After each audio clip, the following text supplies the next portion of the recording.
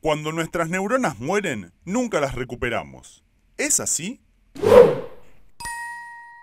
Es sabido que algunos hábitos y actividades afectan a nuestro sistema nervioso y pueden ocasionar la muerte de las neuronas, como por ejemplo recibir un golpe en la cabeza o el consumo de alcohol.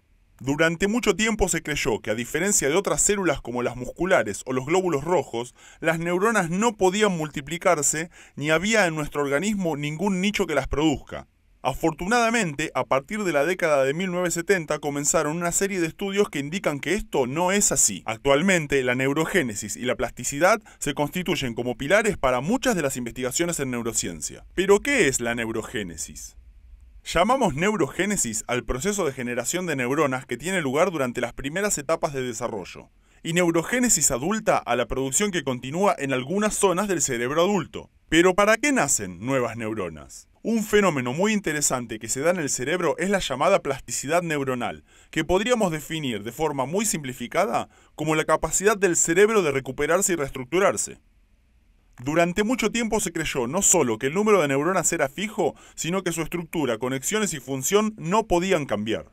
Una de las observaciones que se tienen en cuenta al hablar de plasticidad neuronal es que las neuronas modifican constantemente sus conexiones y que cuando resulta necesario hasta pueden tomar nuevas funciones, esas que estaban a cargo de células que resultaron dañadas.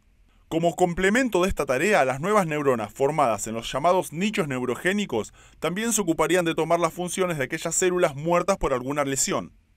Todo esto contribuye a mitigar el impacto de la muerte neuronal manteniendo el cerebro funcionando correctamente. Sin embargo, se sabe también que la capacidad del cerebro para adaptarse y compensar los efectos de una lesión o de enfermedades neurodegenerativas es mayor en los primeros años de la vida que en la etapa adulta. ¿Y qué son los nichos neurogénicos? Son regiones muy específicas del cerebro adulto donde se alojan células progenitoras neurales, capaces de generar nuevas neuronas y células de sostén. Estas regiones son el bulbo olfatorio, la zona subventricular y el giro dentado del hipocampo.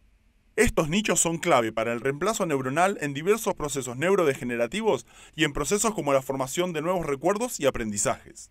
¿Quieres aprender más sobre biología? Visita nuestro sitio web. Educatina.com tiene más de 8.000 videos y ejercicios para practicar y mejorar tus conocimientos. También puedes suscribirte a nuestro canal y compartir este video en todas tus redes para ayudarnos a crecer.